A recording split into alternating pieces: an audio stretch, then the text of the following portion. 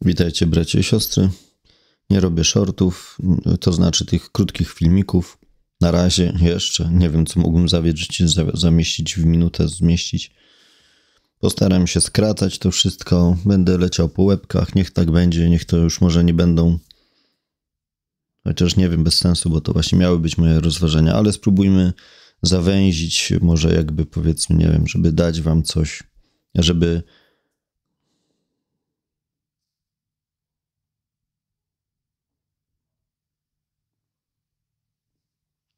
żeby nie marnować czasu tych, którzy biegną, śpieszą się. Och, to pozwoli też, może będzie wyścieleniem do tego wszystkiego, jak ja to widzę.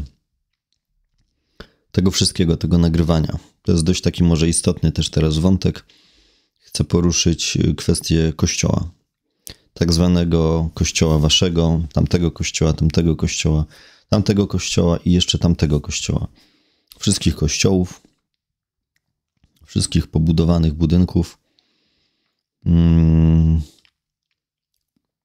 Tutaj w moim mieście jest tego trochę. Z tych kościołów, kościół, w każdej dzielnicy jakiś kościół.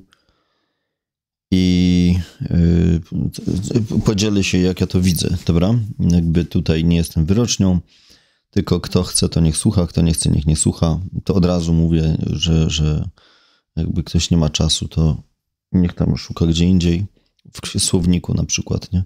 Ja już to sprawdziłem i teraz tylko się podzielę takimi moimi, jak ja to widzę. Albo jak uważam, że jakie jest moje poznanie osobiste, jak to Pan widzi.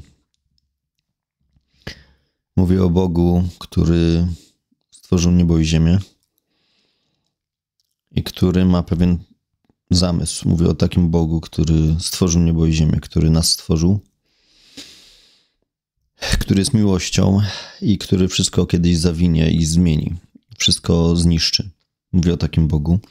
I ten Bóg daje pismo, wyraża się w pismach, jego słowa zostały spisane kiedyś na pewnym etapie, kiedy ludzie dojrzeli do tego.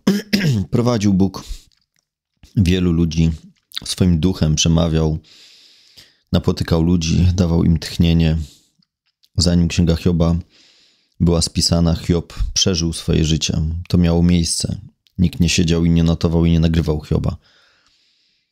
Życie Hioba po prostu wybrzmiewało, przeżył, pewne tragedie się zadziały, pewne wrzody miał, pewni ludzie poumierali. To była historia, ktoś dopiero potem to spisał. Więc mówimy o takim Bogu, który nam zatroszczył się o przekaz dla nas w słowie, że Jego słowo, że Jego historie są nam przekazane na kartach e, ksiąg zgromadzonych w jedną księgę, zwaną dzisiaj u nas Biblią. I teraz kwestia Kościoła. Kościół w tej całej historii w naszym postrzeganiu jest, y, w wielu postrzeganiu jest budynkiem, w innych postrzeganiu jest organizacją, zorganizowaniem się ludzi. Mm, w innych postrzeganiu jest to coś pięknego, że ludzie się kochają, miłują i spotykają, że są zrodzeni z Boga. Znamienne jest to, że wszyscy używają tego samego słowa, czyli Kościół, więc przyjrzyjmy się słowu Kościół. Słowo kościół pochodzi y, czy to z łacińskiego, czy, czy właściwie no, włoski, łacina, castello, czyli zamek. Jak już gdzieś tam może ktoś mnie słuchał, to, to, wie, że pierwsi mnichowie, czyli system klerykalno-świecki, czyli szatańska podróbka Babilonu, babilońska podróbka y, wierzących, to była babilońska y, podróbka, ludzie, którzy mieli dostęp do pism i próbowali jak dzisiejsi religijni ludzie zagrabić sobie władzę. Dlatego ciemnemu ludowi podawali tylko to, co chcieli, odprawiali mm, po łacinie przez wiele setek lat magiczne po prostu jakieś tam msze i obrządki, z czego wierny każdy przeciętny człowiek nic nie rozumiał, bo były po łacinie odprawiane. Więc trzymanie w ciemności ludu było cechą znamienną dla Nikolaitów, co, y, co z greckiego oznacza podbijający lud, w niewolę oczywiście, podbijający lud, tak? Czyli to jest grzech ogromny, to jest, to jest właśnie nurt, idea y, babilońska, szatańska która podbija ludzi sobie. Człowiek podbija sobie innych ludzi w niewolę. Natomiast to Bóg chce rządzić w sercach ludzi. To Bóg chce być Bogiem wszystkich ludzi, żeby miłość panowała, żeby mieszkał w sercu ich i żeby im rządził, nimi rządził. Więc ta myśl jest szatańska, co jest jasno określone w objawienia. I teraz wracamy znowuż do tego wątku głównego. Więc mamy Castello, mamy mnichów, którzy są uczonymi w piśmie, są faryzeuszami, bo mają tą zdolność czytania i pisania, zapisywania. Skrybowie pisali, potrafili, mieli też tą zdolność. Ba, nawet niekoniecznie. Niektórzy wiecie, że skrybowie nie potrafili, nie, nie rozumieli tego, co robią. To byli też często ludzie, którzy nie potrafili odczytywać tego, ale mieli manualne zdolności do przypisywania.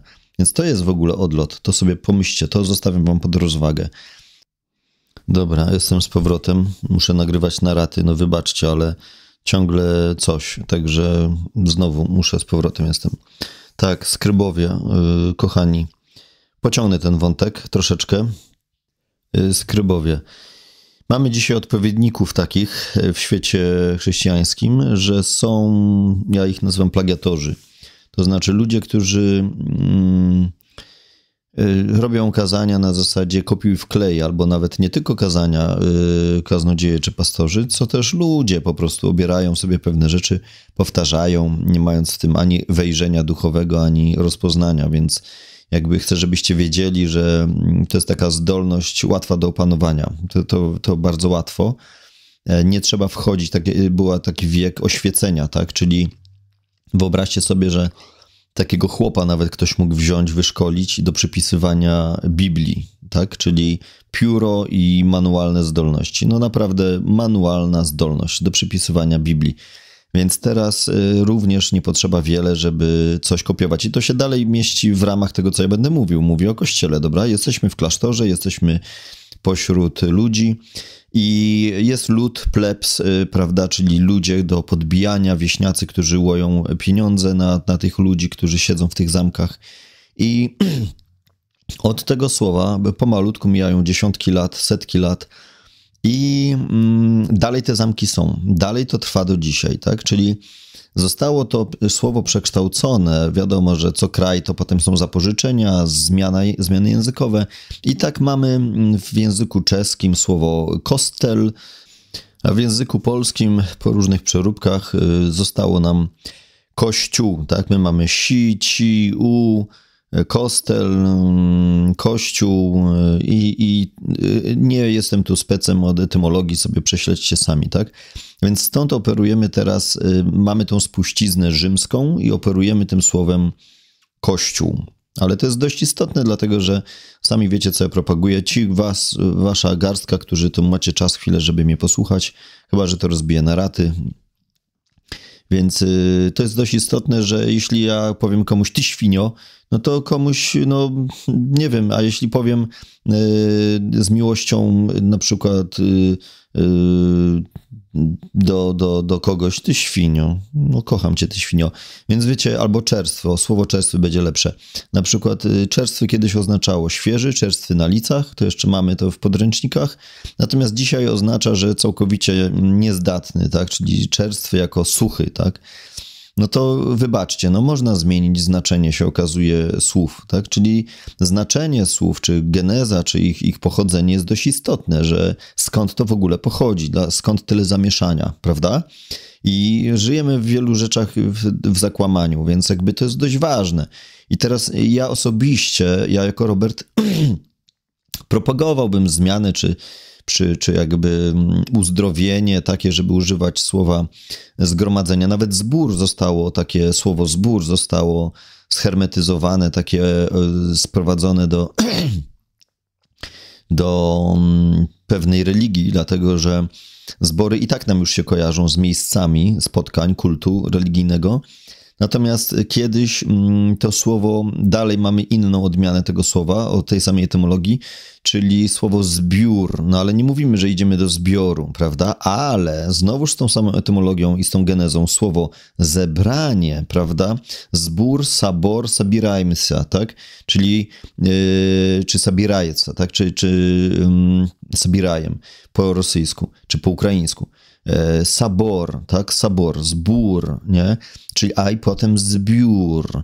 I teraz musimy odgrzebywać to znaczenie tych słówek, dlatego że sednem tego słowa było tylko to, że się ludzie gromadzą. I takież znaczenie ma również, dobrze przetłumaczone te znaczenia były, Takież znaczenie właśnie ma słowo eklezja, tak? Eklezja to jest z greckiego, czyli znowuż już kiedyś wam mówiłem, że to jest zgromadzenie wywołanych, ludzie, którzy gdzieś się zgromadzają, tak? I teraz uwaga. Yy, pokrótce wam lecę. Nie wiem w ogóle. Yy, dobra, może zróbmy dzisiaj już tylko ten kościół, powiedzmy, dobra, bo, bo to tylko samo ten kościół. Szybciutko przelecę. Może się uda to bardzo szybko. Namiastka wrzucę wam i tylko, i to będzie ten kamyk w wodę, dobra? Bo potem nie chcę już się rozgrzebywać z takimi w ogóle innymi, ale przemyślcie sobie, co używacie, czym dla was Kościół jest, czym dla was jest zgromadzenie. Drugie słowo zdrowsze jest zgromadzenie, zgromadzimy się, tak? Zgromadzić razem, zgromadzenie. Zbór, o ile dogrzebiemy się w tym, w takim duchowym znaczeniu naszym pięknym, że to jest, y, że się zbieramy, to dobrze, to się zbierajmy, prawda? Używajmy czasownika. Idziemy się zebrać, prawda? Ale idziemy do zboru, czy do zbioru, no jeśli do, w tym zbiorze, prawda, yy, będziemy jednym z nimi, tym elementem wspólnym, czyli trójkąty do trójkątów, kwadraty do kwadratów, w tym zbiorze, prawda, czy zboże, to jeszcze dobrze. To jeśli jesteśmy w jednym duchu, w duchu miłości, to jest to ten jeden zbiór. Zbiór A, zbiór B, zbiór, zbiór C, tak? To jeszcze dobrze. Jeśli jesteśmy jedno w duchu, to dobrze dałby Bóg, żeby taka rzeczywistość nam przyświecała i żebyśmy tego doświadczali. W tym zboże, czy zbiorze, czy saborze, tako, prawda? I teraz y, na czym polega właśnie, że co nosimy w sobie w tej mentalności, że kościół, kościół, kościoły, kościoły, kościół taki, kościół y, ewangelikalny, kościół mm, jakieś, jakieś tam chrześcijańskie kościoły, odmiany, denominacje, mm, już nawet nie będę wymieniał, bo to grzech, prawda, więc jakby po co mi to wymieniać, nie? No są te nazwy różne, y, więc nie chcę grzeszyć, nie? Więc są jakieś tam różne kościoły, kościoły, kościoły, nie? Tak mówimy, nie? Dlaczego, dlaczego ja mówię grzech, nie? Dlatego, że wszystko zależy od nas, że jak bardzo jesteśmy uwrażliwieni blisko serca Pana, im bardziej jesteśmy blisko serca Pana, tak jak Jan na jego piersiach, gdzieś tam skłonił głowę, to słyszymy jego bicie serca, czyli pragnienie tego, co on chce. I teraz yy, ten, kto nie przychodzi do niego i nie kładzie ucha na jego klatce piersiowej i nie słucha serca w modlitwie, ten nie będzie wiedział, co on chce. Nie będzie wiedział. I teraz tylko ten, kto przychodzi do niego tak blisko, że położy głowę na jego sercu, ten będzie wiedział, co on chce. Dobra. Więc yy, muszę wycinać różne rzeczy, żeby nie było zbyt emocjonalnie, prawda? Robimy na nowo, nową formułę. Dobra, jedziemy z treścią. O ile dam radę. Więc yy, tylko ten, kto przychodzi do Pana, będzie wiedział. Ja rozpoznam go. Ten, kto przychodzi do Pana, ja go rozpoznam. A jeśli ty bardziej przychodzisz do Pana niż ja, to ty mnie bardziej do mojego Pana pociągniesz. I ja się zawstydzę wtedy, że do Niego tak nie przychodzę. To tylko działa w ten sposób, w jeden, jedyny sposób. Ty jesteś bliżej od Pana, to mnie do Niego bardziej pociągasz. Jeśli ja jestem bliżej, a Ty mnie będziesz odpychał, to, to ja będę wiedział, kto pociąga. Więc ja rozpoznam. Zna Pan tych, którzy są Jego. Więc wracając do wątku głównego. E, dlatego mówię, że to jest grzech wymieniać te rzeczy nawet, dlatego że Panu jest bardzo smutno. Panu jest bardzo smutno, bo to nie był jego zamysł. I teraz sięgnę troszeczkę, czyli mamy genezę, mamy słówka, prawda? Jestem jednym z tych, co to tam y, krzyczą, prawda, na, na, na, na, na, na tym YouTubie, bla, bla, bla, że Kościół, Kościół, Castello, Castello. Tak, tak, tak. Możecie mnie zaszeregować do jednego z tych. Kto wytrwa do końca, to sobie może mnie słuchać, nie? Więc tak, mówię o Castello, mówię o kościele, mówię o tym, że to myślenie gdzieś w tyle głowy nam pokutuje, prawda? Że mamy w domyśle miejsca spotkań, mamy w domyśle, nawet są takie ruchy, które e, przewaliła się taka fala, czy nawet jest, może jeszcze gdzieś to funkcjonuje w Polsce, nie wiem jakieś yy, tak zwane kościoły domowe, prawda? Znowuż jest taka, taka fala, że to może nie w budynkach, to może w domu. To kiedyś do tego przejdę, bo, bo z każdej idei można religię zrobić, prawda? I, i, i tam opiewać i mówić, nie? Tak, tak, generalnie ta myśl gdzieś tam jest zdrowa, natomiast to, co robimy z tym potem, no to się okazuje, że to kolejny movement jest albo taki ruch, prawda? Kolejny ruch, propagowanie czegoś, nie? Więc nie, nie, tam niech cię pan prowadzi, tam nie wnikam, nie? Tak, tak, w domach oczywiście, że tak, jestem za. Natomiast y, to, jak to, co, co z tym ludzie robią i do czego to, w co to zamieniają, to, to zdziwicie się jeszcze, co ja o tym myślę. Natomiast y, tak, jak najbardziej, w domowej atmosferze, y, w miłości, we wzajemności i do tego zaraz przejdę, tak? Natomiast to, jak to jest propagowane, to jest druga sprawa, bo uważajcie, bo ze wszystkiego można zrobić religię, ogłoszenia i nurty, i ciężary, i takie inne, prawda? Tak to nie działa. Tak to nie działa. Rozejrzyj się dookoła, zadbaj o ten swój dom, zadbaj o tych dookoła, a nie rób kolejnego ruchu, bo zniszczysz dzieło pańskie, nie? Więc y, dobrze. I teraz tak, bo tak to akurat nie działa, właśnie w tą stronę. Teraz tak, mamy ten kościół, mamy, mamy mm, tą kwestię, że tam nam coś y, funkcjonuje w głowie, takie właśnie myślenie, tak? O, o, takich zgromadzeniach, pobudowanych budynkach. Nie wnikam, nie oceniam teraz, gdzieś tam trzeba się gromadzić. Ok. Natomiast to, co ja chcę propagować, czy zwracać uwagę, to jest wejrzenie, wejrzenie, nie kościoły domowe, bo nic takiego ode mnie nie usłyszycie. Natomiast ja y, chciałbym podzielić się z wami tym wejrzeniem, czyli to, jak Pan to widzi, jak ja to odbieram, jak ja to czytam. Y, I co ja widzę? Skąd ja mówię, że Pan to widzi? Dlaczego ja mogę tu stawać w reprezentacji Pana, jak Pan to widzi? Dlatego, że no, ja nie wiem, może głupi jestem, może wariat jestem, jestem nienormalny, może pośród wielu, Natomiast ja czytam pismo i dla mnie tylko to jest bazą, więc wierzcie mi, że to jest tylko dla mnie bazą. Ja mam tego Pana, który tam jest opisany, on działa w moim życiu, ja mu wierzę i mnie prowadzi. Więc ja mówię o moim Panu, o moim Bogu z Biblii. Więc to, co tam jest napisane i tylko to, co tam jest napisane, mogę wywnioskować, a to, co nie jest napisane, to nie jest napisane. Więc nic nie chcę dodawać i nic nie chcę odejmować, tak? Pewne obrazy, pewne rzeczy są nam zostawione. Więc stąd moje zbudowanie takiego widzenia, nie? To, co widzę, to, co tam się działo, i, a to, czego tam nie widzę. Więc wracamy do tego zbioru zgromadzenia. Eklezja, ludzie zgromadzeni, wywołani. Oczywiście, że po domach się spotykali, oczywiście, że takich jest napisane, że się spotykali w domach. Były sale również większe, bo widać po architekturze, po zabytkach, że takie sal, takowe sale były nawet ogromne, dość ogromne i można było wynająć salę. Tak jak było na wieczerze wynajęta sala, tam gdzieś Paweł potem wykładał. Takie różne sale większe były, żeby więcej ludzi mogło wejść. Zgadza się. Też to jest ujęte w Biblii. Zgadza się. Nie mam nic, nic przeciwko zgromadzeniu się większej ilości. Natomiast nie w tym rzecz. Rzecz w tym, że można ciałami potuptusiać do pewnego miejsca się spotkać, natomiast w duchu nic tego nie doświadczać, żadnej rzeczywistości, do której powołuje nas Pan. Uwaga, Powołani. To jest kolejne słowo, które towarzyszy słowu Kościół, czyli zgromadzeni, wywołani, tak? Wywołani, zebrani. Wywo tam jest takie skompilowanie, że wywołani, zgromadzeni, zwołani, o może w ten sposób, zwołani, czyli tak jakby ktoś woła, tak jakby pasterz zwołuje i wszyscy do niego biegną. To jest zgromadzenie wynikające ze zwołania, prawda? Czyli ktoś musi zwoływać. Czyli y, jedna powie tylko jednej osobie, ale kiedy jedna woła do tłumu, no to już tłum słyszy, tak jak na jakimś placu, to jest zwołanie. Może to być jeden do jeden, jeden do jeden, no to wtedy krąży idea, chodźmy na tamten plac, prawda? Chodźmy na tamten plac. Więc jest jakaś idea zgromadzenia się.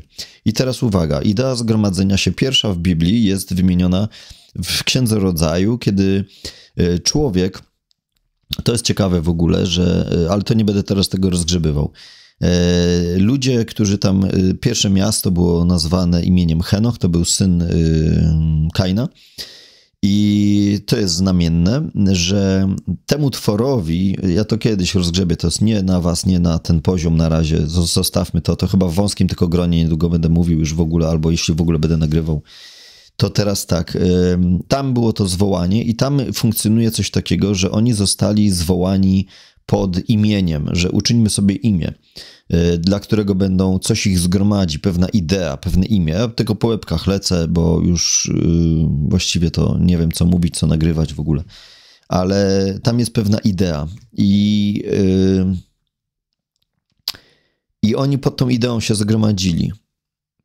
Teraz do czego prowadziła tamta idea? To był substytut oczywiście, bo diabeł jest kłamcą i, i złodziejem. On wykrada, wykrada, on przybiera pozór, pozory, on udaje. Yy, dlatego chrześcijanin nie, nie chodzi do chrześcijanin. Człowiek należący do Jezusa nie chodzi do teatru i nie chodzi do kina i nie ogląda filmów. Chrześcijanin, mój brat, który rośnie w nowym stworzeniu. Nie ogląda kłamstw, nie ogląda ludzi udających, kogoś kim nie są. Chrześcijanin nie ogląda filmów, nie ogląda teatru, oczyszcza się i uświęca i chodzi w prawdzie. Teraz to jest mocne i róbcie z tym, co chcecie. Więc to jest droga uświęcania się. Nie da się być y, zbyt świętym i zbyt czystym. Idź się wyszoruj i spróbuj być zbyt czystym, aż do skóry. Nie da się z brudów. Brudy są brudami, brudy się obmywa, z brudów się człowiek zmywa. Nie chodzi o zdarcie skóry, tylko brudów. Więc nie da się być zbyt czystym. Nie da się być zbyt czystym i zbyt świętym. Więc powołanie i zwołanie polega na tym, że Kościół y, w waszej nomenklaturze niektórych czyli zwołana, wywołana, oblubienica, która dostała zaproszenie, zbiorowi ludzie, zbior, ludzie, którzy usłyszeli dobrą nowinę, Ewangelię, że są zaproszeni na wesele baranka, że po tej, po tym, po tym, po tej śmierci, po, po tej pielgrzymce naszej spotykamy się w czymś chwalebnym, w czymś niesamowitym, co możemy w modlitwie zgłębiać i Pan będzie nam objawiał. To jest zawołanie, to jest za, zaproszenie na wesele baranka. Na tym polega zwołanie. I teraz ci, którzy ten głos usłyszeli, oczyszczają się uświęcają i chcą razem z innymi się oczyszczać, uświęcać, pomagać innym, by dążyć do celu, by spotkać się, nie tylko być samymi, samemu czystymi, ale też by pomóc uświęcać się innym. I to jest to zwołanie, które tylko mnie interesuje, żeby była jasność. To jest to zwołanie, które ja widzę. Nie ma innego i nikt mi nie pokaże. Mam różne wersje Biblii, mam różne tłumaczenia, nikt mi nic innego nie pokaże.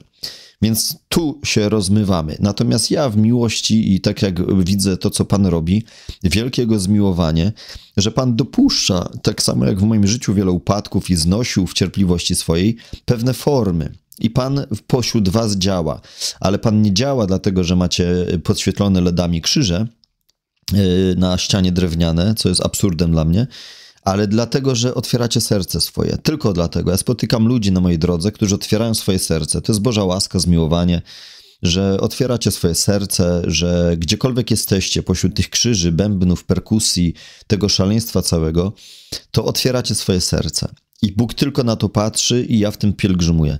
I, i, I tacy są moimi braćmi, siostrami, którzy się właśnie uświęcają. Oczywiście, że są bracia, siostry, którzy podupadli, którzy gdzieś tkwią w grzechu, którzy popadli w ciemność, to są dalej moi bracia, tam posiew Boży gdzieś jest, trzeba ich ratować. Natomiast, y, żeby była jasność, żeby nazywać po imieniu, co jest czym, tak?